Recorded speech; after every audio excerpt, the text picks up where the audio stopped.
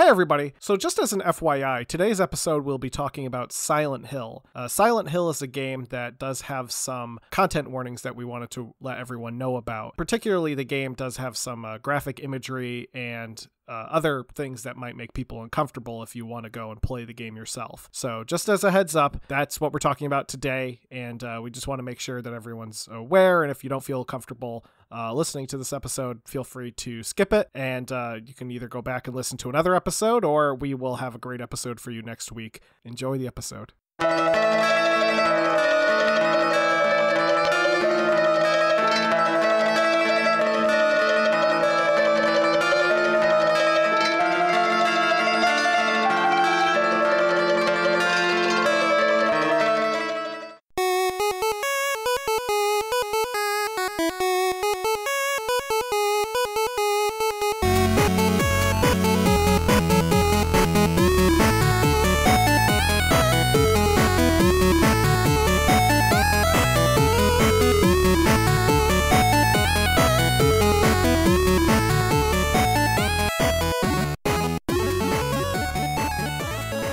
Hey there, everybody. Welcome to another episode of Classic Gaming Brothers. I'm Seth, And I'm Zach. and we are the Classic Gaming Brothers. Yeah, we are. That's right. We. That's who right. We. That's right. That's who we are. Hey, Seth. Next next week. No. Oh yeah. The week the week after next week we'll be at we'll be at PAX. We'll be at PAX soon. Wow. Yeah. It'll be the first time I've seen you in person, and well, since today. Last time we went to PAX, we went together, and that was in 2020. Mm-hmm. And then there was no 2021 PAX, but there will be a 2022 PAX. That's right. So it'll be pretty exciting that we'll be going. We'll be going on Saturday and Sunday, in case anyone is Yeah. curious. We'll bop around the big city of Boston. We're gonna go Dunkin' Donuts, and then we're gonna go to the PAX, and then we're gonna go. We may go to South Street Diner. We'll have a good time. We'll have a good time. We'll have a good time. You'll all be jelly. We'll put some stuff on Instagram. Maybe we'll even shoot some footage of us at yeah, the we convention. might. Maybe I don't want to make any promises. but no promises. We'll, we'll definitely have an episode on that Sunday for you. yes, that's we always will have an episode on a Sunday. But anyway, Seth, what have you been recently playing? So recently, I've been playing a game called Kirby and the Forgotten Land, which was a Oh. byway pass of mine, and I think I said that it was going to be a. Well, you told me about it, and then I then bought it. Kirby and the Forgotten Land is a 2022 uh, platform video game developed by HAL Laboratory, which is the standard developer for Kirby. There were a few Kirby games that were not developed by HAL Laboratory, but uh, primarily HAL was the Kirby team, and it was published by Nintendo for the Nintendo Switch. It is the 17th mainline installment in the Kirby series, which, fun fact, is a series that I don't think Zach and I have ever talked about. I think we briefly talked about. Oh, we, we did when we talked about mascots. Back in the Dark Ages, we talked about um, Kirby and the mascot episode. I think like episode, it's got to be in the 30s, maybe 40s. Regardless, it's not this episode. And it is the first time in the Kirby mainline installment that's in 3D.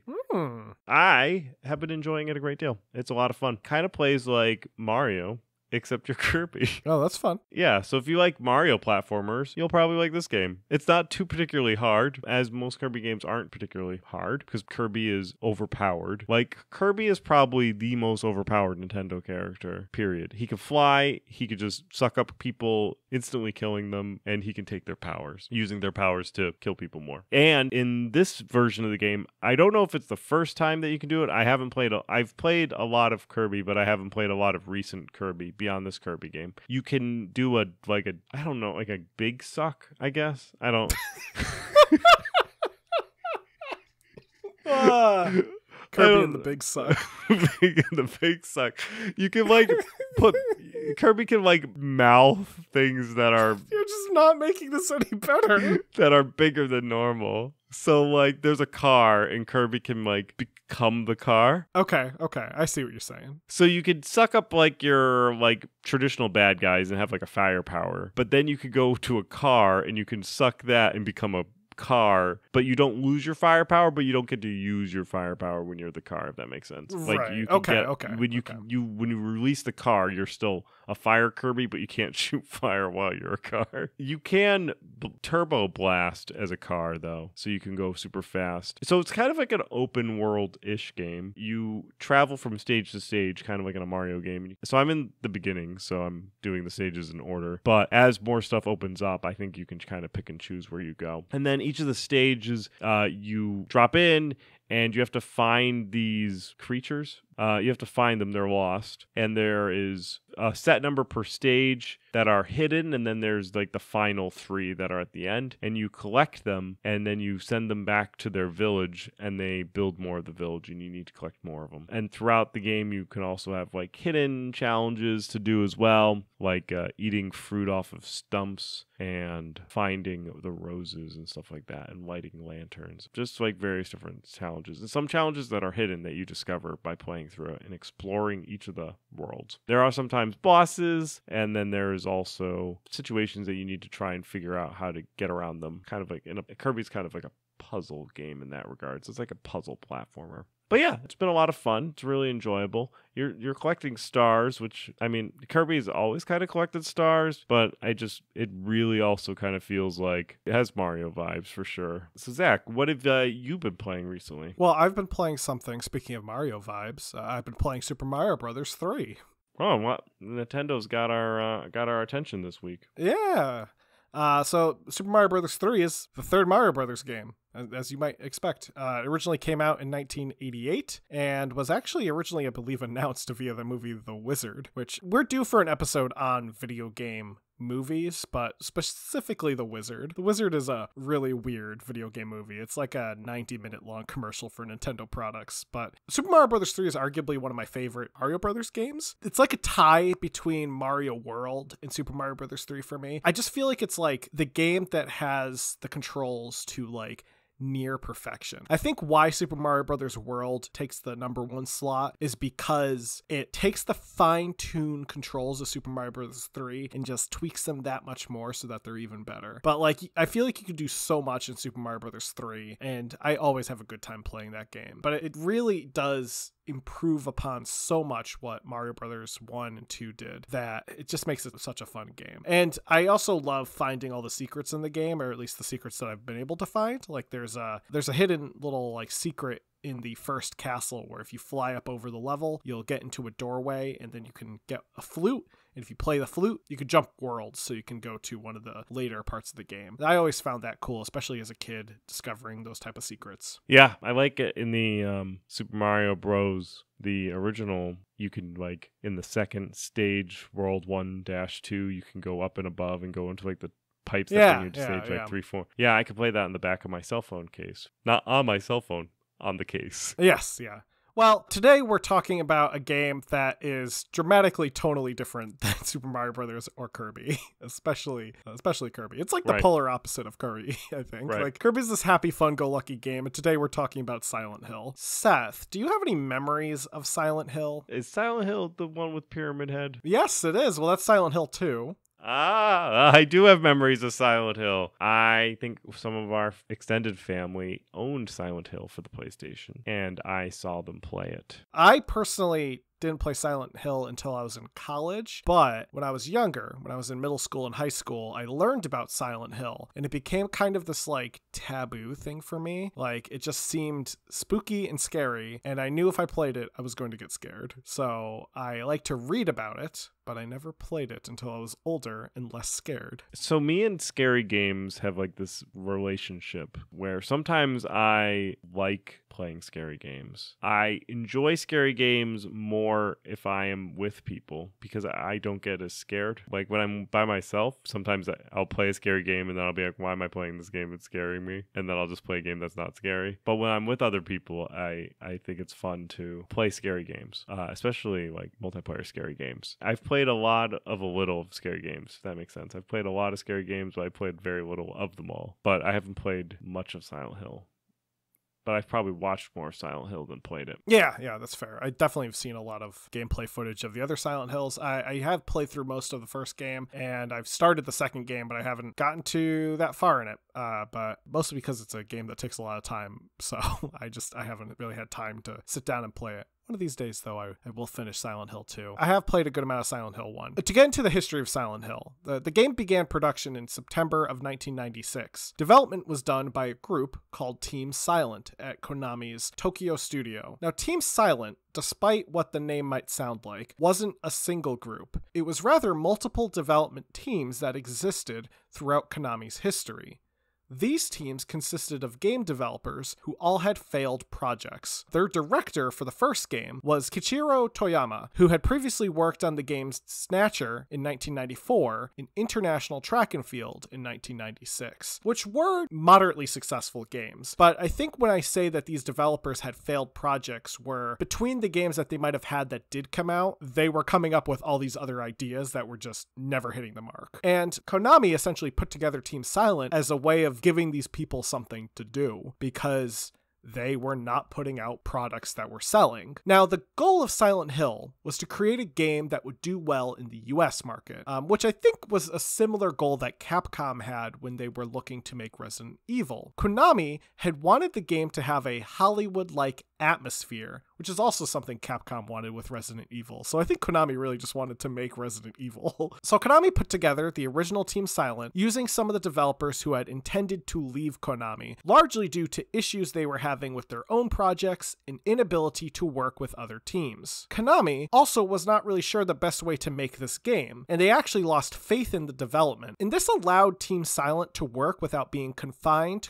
to Konami's restrictions. So they decided to ignore Konami's idea of a Hollywood atmosphere, quote unquote, game and make the game centered on the player's emotions. The idea of focusing on the player's emotions meant that they were going to tap into something that players could strongly react to fear. They began designing the world around the idea of fear of the unknown with the overall plot designed to be vague and inconsistent. Director Toyama wasn't a big fan of horror, but he did have interest in movies by David Lynch and the occult, both of which are heavy influences in the world of Silent Hill and the lore. Other inspirations, such as the idea of a town called Silent Hill, were largely based on influences from Western movies and books. One example is the school in Silent Hill seems to be directly based on the school featured in the 1990 film Kindergarten Cop, uh, to the point where some of the posters you see in the background of Kindergarten Cop appear in Silent Hill. Uh, the characters within the game were designed by Takayoshi Sato, who was actually a relatively new young hire at Konami at the time. In fact, I found his resume online, and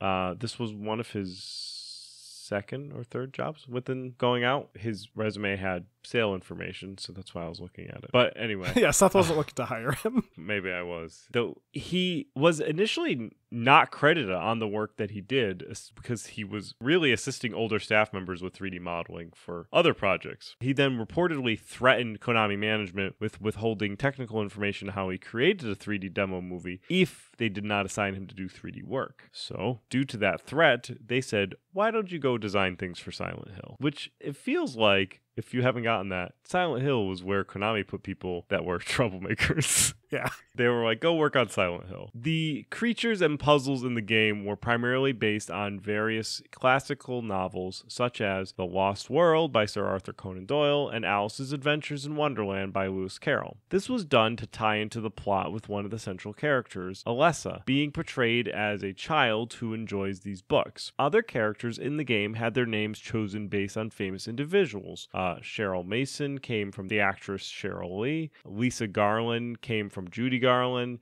and Michael Kaufman's name came from Michael Herz and Lloyd Kaufman of Troma Studios. Other items that appeared in the game are pulled from various religious and spiritual belief systems. For example, the seal of Metatron and the seal of Samael are references to the angels Metatron and Samael, both featured in the Jewish Talmud. There are also a reference to Flauros, who is a demon featured in the Lesser Key of Solomon, a 17th century grimoire. You can also encounter the names Ophelio, Hagith, Phaleg, and Bethor, which reference angels featured in the Book of Ceremonial Magic, an 1898 grimoire written by the occultist Arthur Edward Waite. A demo of the game was shown off at the 1998 Electronic Entertainment Expo, or E3, in Georgia. Uh, the presentation largely consisted of in game footage and CGI cutscenes. Konami was actually pleasantly surprised by the positive reaction that the audience had. Uh, they were applauding during some of the presentation, and they decided to assign more personnel to the team, along with money to boost the PR. Despite the increase in personnel, certain design choices were made to the game to account for the PlayStation's hardware. One of these design choices was introducing a layer of fog over the game's world to hide limited render distance. This is also why the game is primarily set at night, to better mask the graphics that may not have been the best of quality. Silent Hill was ultimately released in February of 1999 in North America,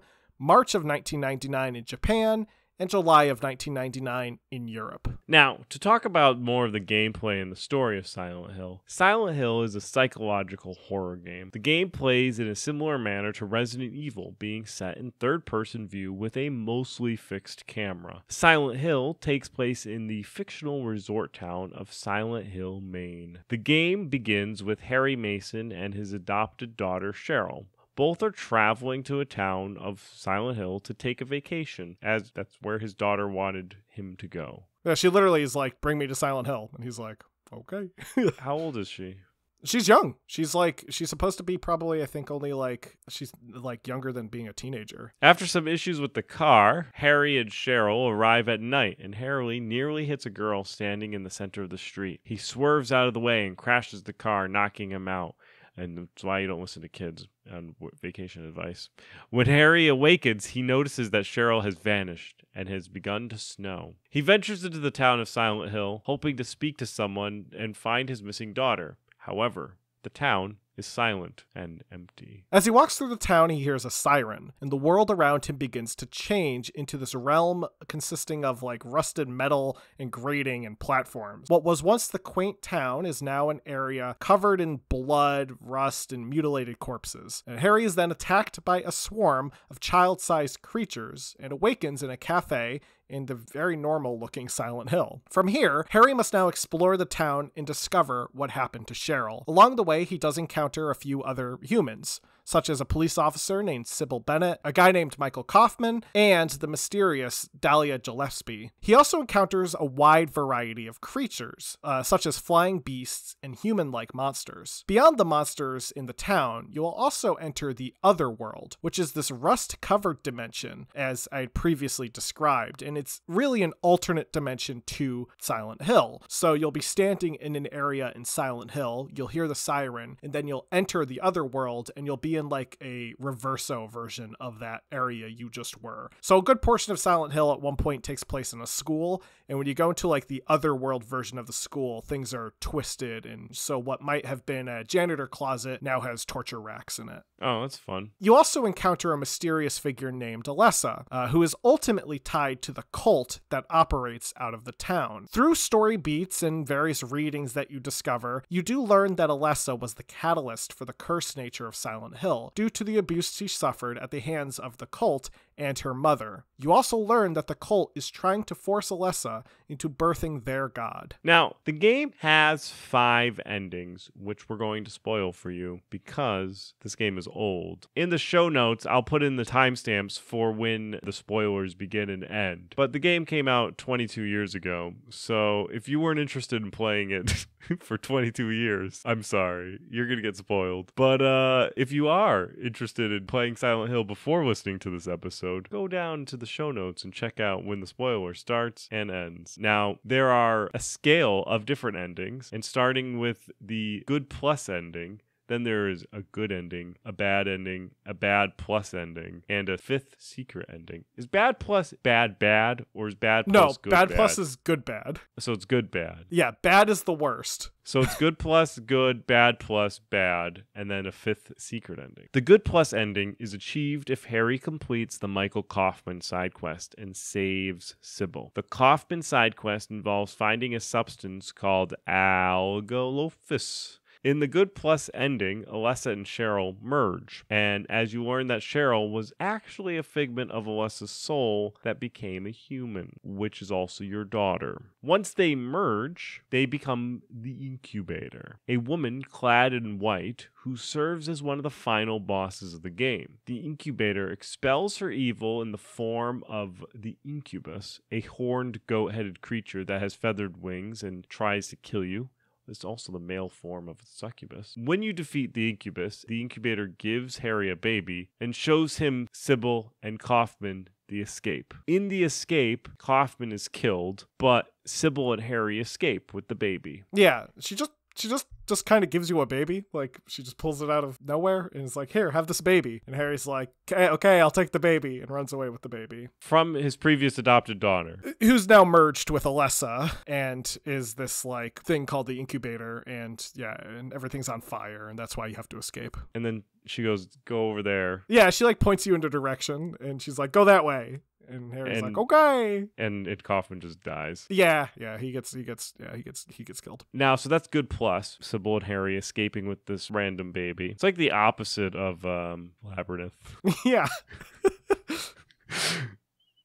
Uh, now the good ending is mostly the same as the good plus ending, but if you get it instead of the good plus ending, uh, Sybil dies, so Harry and the baby escape alone. That's really just the major difference. Everything else plays out the same, but Sybil's not there at the end. The bad plus ending occurs if you don't complete the Michael Kaufman side quest, so if you never get the substance that he asks for, but you do save Sybil. In this version of the game, after you fight the incubator, she just kind of thanks you and Harry realizes that he has now lost his daughter and he gets really sad and him and Sybil escape because again the place is burning to the ground. The bad ending, the bad bad ending I guess you could call it, is achieved if you don't save Sybil and you don't complete the Kaufman side quest. In this ending, after you defeat the incubator, the game cuts to Harry's body lying in the car after the accident with blood pouring from an open wound in his head. The entire game is revealed to be happening in the mind of Harry's dying brain, caused by by the severe loss of blood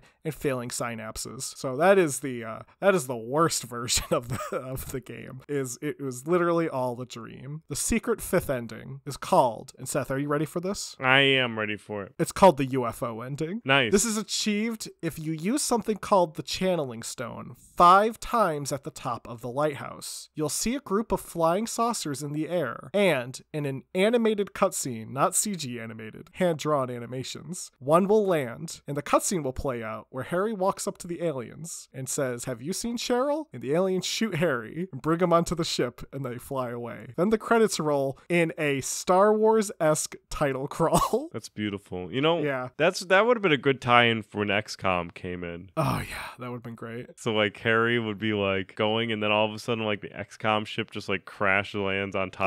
Of the Oh, that would be fun. Yeah. Uh, the uh, the aliens and like XCOM people just storm out and just start. Yeah, and then you could have a XCOM DLC where you play in Silent Hill as the map. So Silent Hill is kind of known for these secret endings. They're often called like the alien endings or the kind of like goofy endings. I think one of my favorites though is in one of the games the entire story is revealed to be taking place behind this like massive computer being controlled by a corgi playing with the controls of a giant computer. It's fun. Now, as I mentioned earlier, I found uh, resume, and on the resume, he he was acting as the CGI director of Silent Hill. Uh, he mentioned that the game would go on to sell two million copies worldwide, which was pretty successful for a department that was essentially where you put the troublemakers. The successful sales volume would then go on to get the game eventually labeled greatest hits for the American PlayStation market, which essentially was what PlayStation would do with really successful games. They would take and then they would re release them as cheaper titles so that they could get more volume on the same game that they previously got. So if you just waited a little bit, you could get a greatest hits version of the Silent Hill and it would be cheaper. Originally, in order to qualify to be a greatest hit game, you would have had to sold 150,000 copies and been out for at least a year. That's when they kind of started back in the 90s, um, which probably would have been the same similar bar for the original Silent Hill. The amount sold has gone up over time for qualifying to become a greatest hit. And by the time PlayStation 4, they actually have now rebranded greatest hits to just be PlayStation hits. Uh, so PlayStation hits are just essentially re released games that sold well at a discounted price. Interestingly enough, I was reading some reviews that were done for Silent Hill, and there was a change based on the reviews at the time and the reviews now or more recently. Though there was a review that came out when it was released where they were talking about how Silent Hill actually took advantage of one of PlayStation's greatest weakness, which was its draw distance deficiency. So the original PlayStation wasn't good at rendering stuff at a at distance. Uh, it would become foggy and dark, which Silent Hill just took and used it as an advantage. They just made their games foggy and dark, adding the atmosphere to the game. I did read other reviews at the time, though, where many of them would state that Silent Hill was just a Resident Evil clone. Uh, it had the same camera fixture, it was still kind of horror. Uh, they're like, yeah, it's a well done Resident Evil clone. Now, in retrospect, reviewers are going back and saying, you know, actually, Silent Hill is actually a really ethereally interesting game. Like, it's mentally and it's different than Resident Evil. I think Resident Evil is more of a a shock horror where uh, Silent Hill is more of a, a, a mind horror. And I think that shows now with them looking back to the point where a number of reviews that were done in the 2000s would put the original Silent Hill actually down as one of the four, top 14 or 15 game for the PlayStation. And in 2012, Time Magazine would go on to rate it as one of the 100th greatest video games of all time.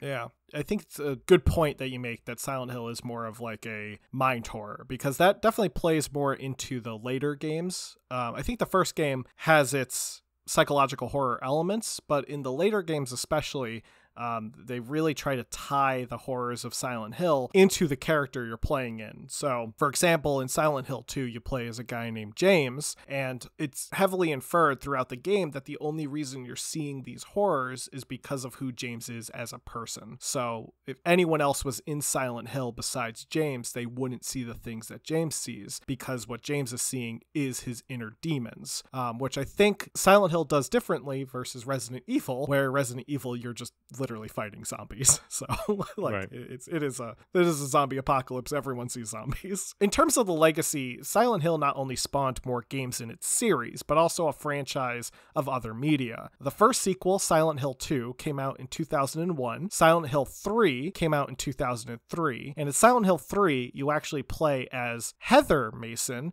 who is the baby that Harry Mason saves at the good plus ending of Silent Hill. Or rather the good ending of Silent Hill because I think Sybil is canonically dead in in Silent Hill 3. So yeah, Silent Hill 3 came out in 2003. Silent Hill 4 came out in 2004. A prequel called Silent Hill Origins came out in 2007. Another game called Homecoming in 2008. A reimagining of the first game called Shattered Memories in 2009. And the last game in the Silent Hill series is called Downpour, and that came out in 2012. There are also various spin off titles, uh, such as Silent Hill the Arcade, and a mobile game called Silent Hill the Escape. Uh, there was also a Game Boy Advance Japanese exclusive visual novel adaptation of the first game, which I always find fascinating to me. It is like the full first game, but told entirely as a visual novel, so you just read everything that happens and there's zero gameplay. Now, beyond the released games, there was also a reimagining that was planned called Silent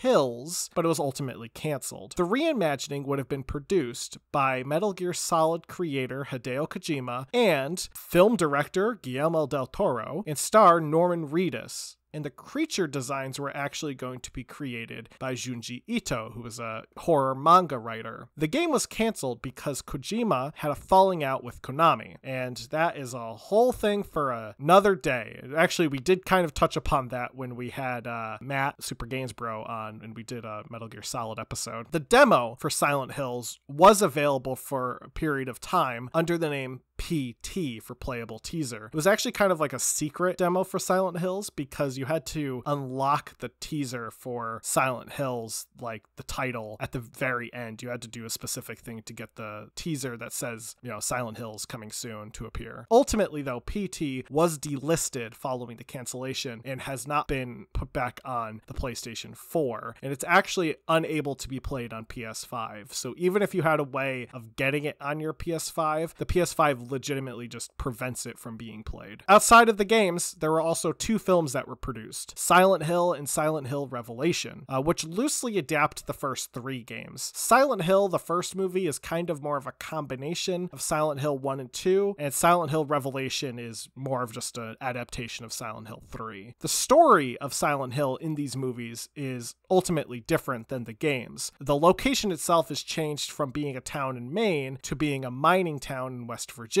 and the mining town has become abandoned due to a coal fire that started underground, uh, very similar to Centralia in Pennsylvania, which is a real place that was abandoned due to a coal fire. I know sometimes you'll see articles that will be like, this is the real Silent Hill, and we'll talk about Centralia. They're referring to Silent Hill from the movie, not Silent Hill from the game. The game is a resort town that does not have any mining history. Um, and there's actually a lot of lore about the game town. Like they'll have like details on when the colonists arrived in the area and started settling Silent Hill. So if you ever see an article that says this is the real Silent Hill and it talks about Centralia, know for a classic gaming brothers fact that they're referring to movie Silent Hill, not video game Silent Hill. If you want to go to real video game Silent Hill, you could probably go to like Bar Harbor because that's a resort town. I guess I don't know if it's a fun fact, but a fact about Centralia is uh, in 2017, there are five people that were living there. There were a thousand people that were living there in 1980, but now five. And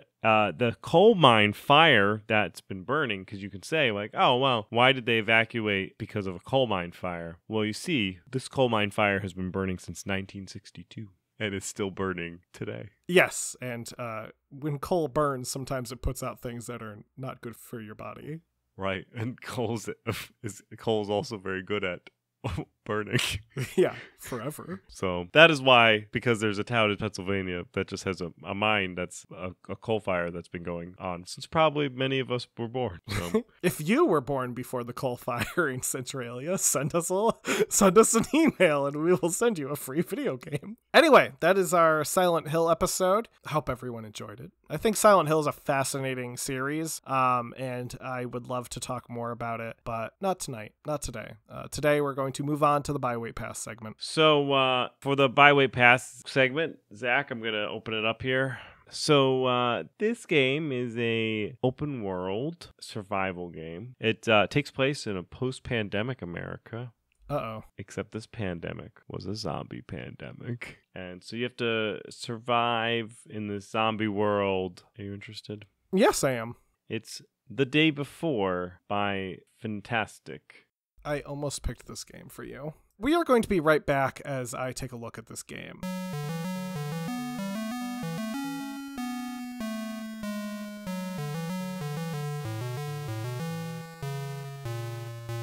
All right, and we're back. So, The Day Before is a game being developed by uh, Fntastic, I think, and published by Mytona, uh, and due out June 21st, 2022. It is an MMO open open world survival um, set in this uh, zombie world. I have mixed MMO feelings. You see, I like playing MMOs, but I only like playing MMOs with people I know, and I only like playing MMOs that I can be silly in. I, and I have to have like a specific need to play an MMO like I don't know how to describe it, but I I don't like want to play an MMO every day. Like I might want to play an MMO once a, a year, like period, like for a for a few hours. Star Wars. Yeah, like like Star Wars, uh, The Old Republic, or Star Trek Online. Like I'll play it for a few hours every year or so. My thing with MMOs is that I like playing video games, and I like playing video games with people I know, but I don't like playing video games with people I don't know, or that I have to rely on people I don't know. And that's one of the major problems I've had with games like The Division or uh, Destiny where I you can play them by yourself or you can play them with people you know. But if you are just looking to play the game sometimes by yourself, it's often not recommended. A lot of times the levels are geared toward finding parties. And if you don't have friends that play the game and you don't really want to team up with people you don't know, it just might not be a good time. So that's personally been my experience with playing games like this. I really try to stray away from them. So I'm going to put this down as a pass, uh, which is unfortunate because it does look like a cool game. It does look very fun in terms of the actual gameplay, though it does actually kind of remind me of The Division, which I had mixed feelings of anyway.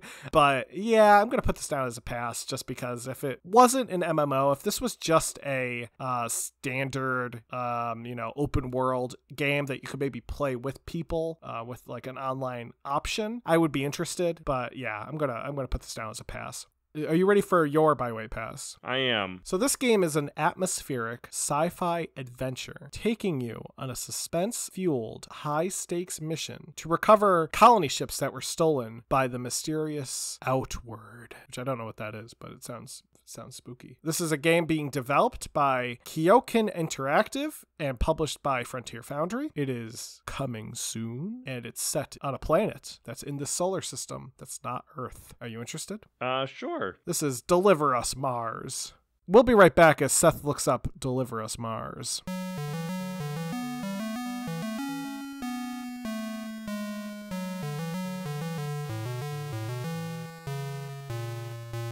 And we're back. So, Deliver Us Mars is actually the sequel to Deliver Us the Moon, which is a game Oh. that I already own and have not been able to get into. So, I don't know if I'm going to put. I- I'm going to say this. I'm going to try and play and get into Deliver Us the Moon, since apparently it's award winning. And if I can get into it and enjoy it, then I will buy Deliver Us Mars. If I can't, I will pass. Fair enough. I think I think I'm gonna put it down right now as a pass, but uh, that's contingent on my going back and playing Deliver Us the Moon, which is a game that I mean I should like. It kind of hits those things that I like, but uh, I just I haven't been able to get into it. Uh, anyway, that will do it for today's episode. Um, if you enjoyed the episode, let us know. You can email us at classicgamingbrothers at gmail.com. You can also visit our website, classicgamingbrothers.com. Visit our Facebook, Classic Gaming Brothers, our Twitch, Classic Gaming Brothers, our Instagram, Classic Gaming Brothers, and lastly, our Twitter, CG Brothers Pod. Be sure to like, subscribe, do all those things that you could do to let us know that you like us. And um, also be sure to follow us on any of the podcasting applications out there and rate us as you would. Uh, you know, five stars, always nice. Uh, let us know you like the podcast. That's always appreciated. Um, anyway, that's all that I have. Um, I'm pretty sure that's everything. So I'm just going to end things off. I don't think Seth has anything else to add unless he does. Don't play games like my brother. And don't play games like my brother. I've been Seth, And I've been Zach. and we've been the Classic Gaming Brothers. That's That's right. right. Pyramid Head is a spooky, spooky